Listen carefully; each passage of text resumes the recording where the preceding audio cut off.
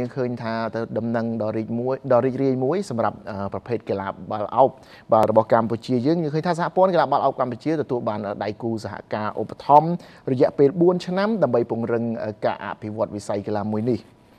បាទសហព័ន្ធកីឡាបាល់អោបកម្ពុជានៅថ្ងៃទី21ខែមករានេះបានចុះកិច្ចព្រមព្រៀងលើភាពជាដៃគូជាមួយអង្គការ Child Fund Rugby ដើម្បីពង្រឹងការអភិវឌ្ឍវិស័យកីឡាមួយនេះឲ្យកាន់តែរីកចម្រើនបាទកិច្ចព្រមព្រៀងនេះគឺមានរយៈពេល4ឆ្នាំបាទតាមការបញ្ជាក់របស់លោកពេជ្ររតនាអគ្គលេខាធិការសហព័ន្ធក្នុងពិធីចុះកិច្ចព្រមព្រៀងនេះធ្វើនៅសន្តាគារសាន់វេក្រមវត្តមានអាយដាមព្រំមុនជីទីប្រឹក្សាក្រសួងអប់រំយុវជននិងកីឡារួមទាំងលោកលុនសាមារីអនុប្រធានសហព័ន្ធ និងលោកប្រសាន់វើម៉ាជានាយកប្រចាំប្រទេសកម្ពុជានៃអង្គការ Child Fund Cambodia លោកពេជ្ររតនាបានបញ្ជាក់ថាកិច្ចព្រមព្រៀងនេះបានផ្ដោតលើ2ចំណុចដែលអង្គការ Child Fund Rugby នឹងជួយដល់សហព័ន្ធគឺទី1អង្គការជួយច្រើនផ្នែកគ្រប់គ្រងការរៀបចំនិងបណ្ដុះបណ្ដាលកីឡាករកីឡាការិនីហើយទី2គឺការជំរុញផ្នែកបំណិនដល់ក្មេងៗពិសេសកុមារកំព្រាដែលជ្រកក្រំដំបូលសហព័ន្ធឲ្យទទួលបានការសិក្សារៀនសូត្រគ្រប់គ្រាន់ក្រៅពីការលេងកីឡាផងដែរលោកបន្តថានេះគឺជា រឿងដ៏ល្អមួយត្បិតមួយរយៈចុងក្រោយនេះសហព័ន្ធមានការខ្វះខាតដូច្នេះកិច្ចព្រមព្រៀងនេះ Child Fund Rugby នឹងជួយផ្សព្វផ្សាយពីវិស័យកីឡាបាល់ឱបនិងជំរុញការលេងកីឡានេះពលគឺរួមចំណែកជាមួយសហព័ន្ធក្នុងការពង្រឹងនិងពង្រីកការអភិវឌ្ឍវិស័យកីឡានេះឲ្យកាន់តែរីកចម្រើន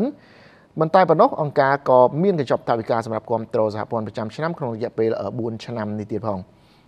ទន្ទឹមជាមួយគ្នានេះដែរប្រិយមិត្តអាយដាមព្រំមុនយីបានសម្ដែងការគ្រប់គ្រងនិងសាទរចំពោះកិច្ចសហ ប្រតិបត្តិការបាទរវាងសហព័ន្ធនិងដៃគូសហការដើម្បីជំរុញការអភិវឌ្ឍវិស័យកីឡាជាតិបន្ថែមទៀតពិសេសកីឡាបាល់ឱបហើយក្នុងនាមក្រសួងអប់រំយុវជននិងកីឡាអាដាមក៏បានសន្យាថានឹងជួយបន្តជួយក្រុមជ្រុំជ្រែង và គ្រប់គ្រងតាមគោលការណ៍របស់ក្រសួងអប់រំរួមទាំងបែបបទរដ្ឋបាលផ្សេងផ្សេងដើម្បីឲ្យសហព័ន្ធកាន់តែមានលំនឹងនឹងកាន់តែរីកចម្រើនផងដែរចំណែកឯលោក Prashan Verma បាទបានបញ្ជាក់ថានេះគឺជាមិនមែនជាលើកដំបូងនោះទេ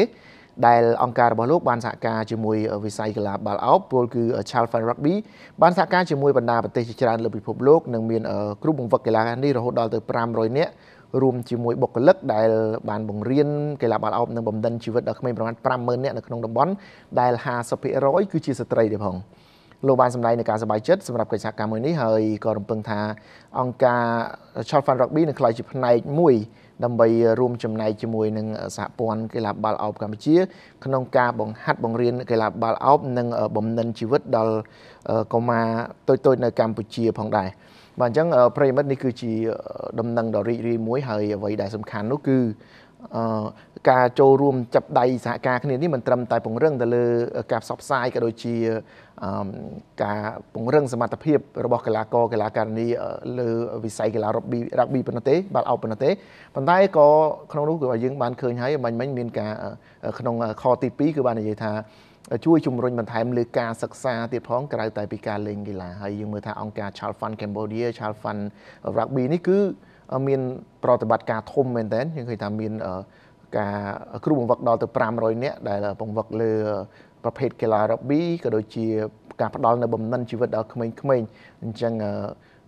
រយៈពេលកន្លងមក Child Fund Rugby បានបរិះបដាលដល់កុមារប្រហែលជា50000នាក់ហើយហើយក្នុងនោះលើសពី50%គឺជាស្ត្រីទៀតបាទអញ្ចឹងយើងរំពឹងថាសហព័ន្ធកីឡាបាល់ឱបកម្ពុជា